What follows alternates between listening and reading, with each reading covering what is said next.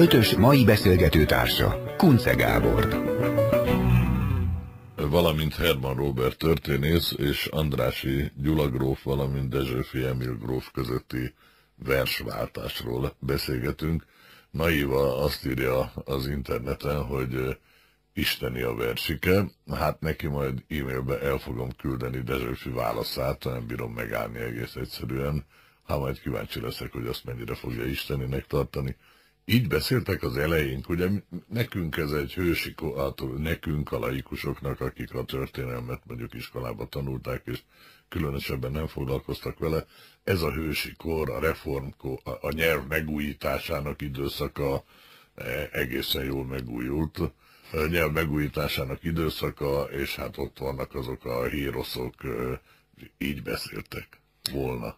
Nagy valószínűséggel igen. Itt azért hozzá kell tenni, ugye, hogy az arisztokrata körökben nyilván a, a nyilvános térben nem így beszéltek, de úgy gondolták, hogy egymás között még akár ezt is megengedhetik maguknak. Vannak egyébként utalások arra, hogy azért a köznyelvi beszéd az, az sem állt egészen távol attól a mai beszédmódtól, amit hát ugye nap mint nap hallunk buszon, villamoson, utcán, városban és egyéb helyeken.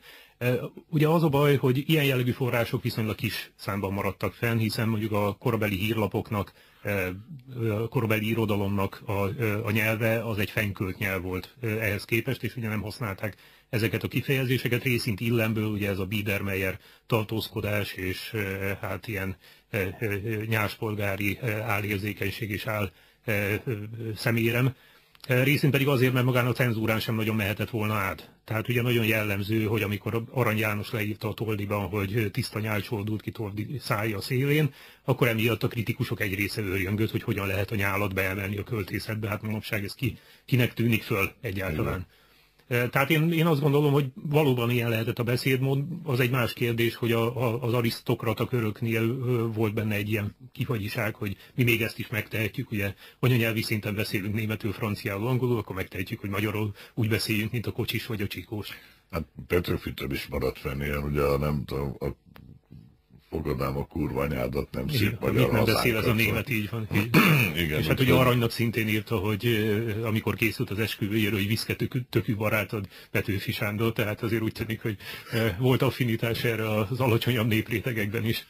Igen, de végül is, ami itt ezt a versváltást, versikaváltást illeti, bár talán még nem is ebben mennék bele, hanem egy kicsit másként, ugye ön is említettem itt az adáson kívül, hogy azért a karikatúrák sokkal durvábbak voltak viszont, mint a leírt szöveg. Tehát ott ugye, mert ott nem kellett nyilván kimondani valamit, oda kellett rajzolni, és az egy kicsit más volt, tehát ez is mutat valamit. Így van, 1848-ból maradt fönn jó néhány bécsi karikatúra 1848 októberéből nagyjából, ami hát Zsófia főhercegnőt, ugye a későbbi császárnak Ferenc Józsefnek a mamáját és Jelasics Horváth Bánt ábrázolja intim pózban, eh, hát tapintatosan körülírva mind a tényleges eh, közösülés, mind pedig az orális szex eh, különböző fajtái előfordulnak ezeken a karikatúrákon.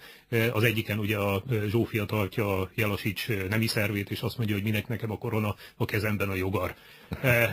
Na most hát ennek aztán persze az ostromállapot bevezetésével vége lett, de a Bécsváros Múzeumában, amikor volt egy a 48. októberi Bécsi forradalomra emlékező kiállítás, ott láttam egy ilyen 15-20 darabból álló egy karikatúrát, ami hát a nők szerepét mutatta be a Bécsi forradalomban, és hát azon is aztán volt minden, ami elképzelhető ugye, ahogy a cenzúra megszűnt, ahogy megszűntek ezek a fajta feudális, abszolutisztikus kötö, kötöttségek, az emberek nem csak abban az értelemben szabadultak fel, hogy a politikai eszméiket elmondhatták, hanem hát ugye az egyéb vágyaiknak is nyugodtabban hangot adhattak, és hát ugye ennek volt a, a terméke, például ez a karikatúra termés is.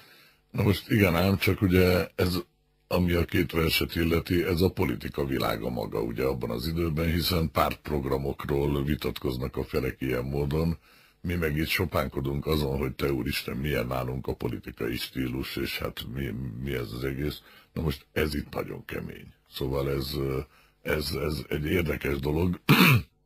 A, mondjuk lehet egyébként azt is mondani, hogy az Andrásinak nagyon szellemes a verse, a tartalmával együtt, míg a Dezsőfinek a válasza az borzalmasan durva, és szellemet azt nem lehet benne felfedezni.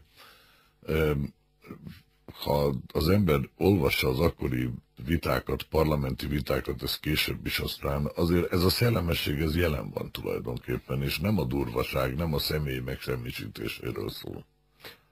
Igen, hát ugye ennek nyilván többfajta oka volt. Az egyik az az, hogy hát egészen más volt ezeknek az embereknek a, az átlagos iskolázottsága, mint mondjuk a maiaké.